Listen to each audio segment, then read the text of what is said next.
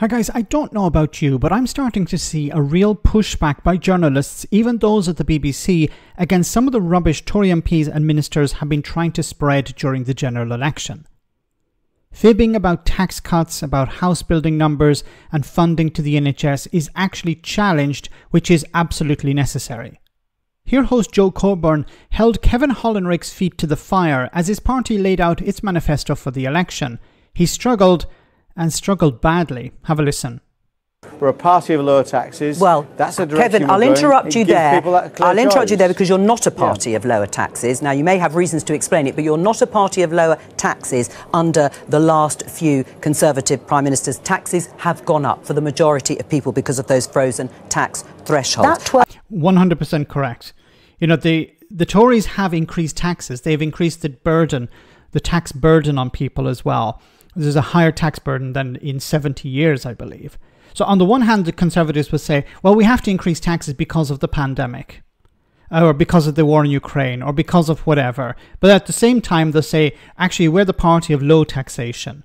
Well, you can't have it both ways. 12 billion pounds worth of savings that you have earmarked to pay for this have already been allocated in the budget by Jeremy Hunt. It looks as if you are not going to have the money to fund this two pence cut when you've already allocated the savings, uh, and we don't know if you'll deliver those savings, of course, um, on other things. Oh, we don't believe that. We believe there are ways we can make efficiencies. In, in the uh, in the manifesto, it sets out 36,000 fewer civil servants. You've we had eye-catching this idea that you just cut civil servants to save money, this is cutting public services to save money. This is austerity. When the Tories talk about, well, you know, there's waste or there are civil servants who are not doing anything, we get rid of those. Why are you why would you plan to get rid of them to save money in the future if you could get rid of them now? Obviously, they can't get rid of them now because they're necessary. This is just a lie policies on national service, on closing Mickey Mouse degrees, on the pensioner triple lock plus,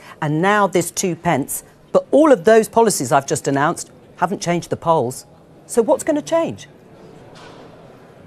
Well, this isn't about the polls for us. It's about oh. doing the right thing. Well, how are you going to win then if you don't out, change the right polls? This, these are these are tax cuts for workers, for employed people. No, I understand that, but that's not my question. 27 Kevin, million I'm so people. sorry, but that's not my question. What I'm yeah. saying is the policies you've already announced have not moved the polls. They're not narrowed with Labour. They're still 21, 22 points ahead of you. 2,000. So we don't care about the polls. But your policies are not changing the polls. Like I've said before, if the Conservatives really wanted to win, they should do something for ordinary people. They're doing nothing for ordinary people. They're pretending to do stuff for ordinary people, and they're pretending to do stuff for ordinary people in the future. But if you actually done something now that helped people, then you'd actually have a chance of holding on to some more seats. You're not going to win. I think it's a catastrophe waiting to happen. But you could actually hold on to a few seats if you'd done something now, something not promise to do something in the future. What you're doing is you're saying, what we'll do is we'll hire loads of police officers that we haven't done so far. We could have hired them, but we didn't. We'll do it in the future. We're going to reduce taxes. We've actually increased taxes, but don't worry, if you vote for us, we'll lower taxes. Look, once again, lower taxes mean less money for public services, which is a problem. So, this idea of reducing taxes does not help but they sell it as a benefit. Pounds more per household than you'll see under a Conservative Well, of course, government. and that's been challenged and disputed. In fact, Jonathan Ashworth repeated that it's a lie. Under it is a lie. But unfortunately, where the journalists do fall down is that they don't challenge the Conservatives on their own tax plans, which would actually increase taxes on families, working families, by £3,000. Now, the people have already faced an extra £13,000, I believe, since 2019. So the Tories have increased people's taxes by 13,000 and they're trying to sell this idea don't vote for the Labour Party because they might increase them by 2,000 when their own figures would result in a 3,000 pounds increase. Conservative governments and under this one too it's become harder to get on the housing ladder. That is under the Conservative government. Margaret Thatcher's home owning democracy. It sounds like it's dead. Well, there's no doubt there are problems with the housing market. why would people, particularly people young people, trust you with improvements in housing when we've had the Prime Minister admit it's harder under Conservative governments to get on the housing ladder? Well, we are seeing an increase. There was a record number of first-time buyers actually entered the market. No, but he's admitted it's harder. Why, why, would people trust you to well, improve well, it? There, there, are difficulties. We're not saying there are there are not difficulties. On your.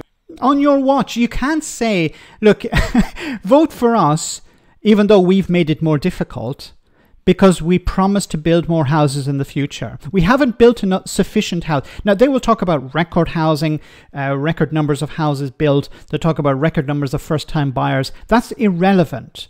What's important is is it enough? Obviously, it's not enough. Otherwise, this wouldn't be a problem. This would not be an issue. This would not be something that young people are talking about. If there was sufficient housing, nobody would be talking about a housing crisis. So there's no point saying, well, we have record numbers of people who are first time buyers and we're building a record number of houses. It, it's irrelevant. But that the Prime Minister yesterday said, well, there isn't sufficient housing. Uh, or young people are struggling to get on the property ladder. And yes, it's it's worse under our our administration.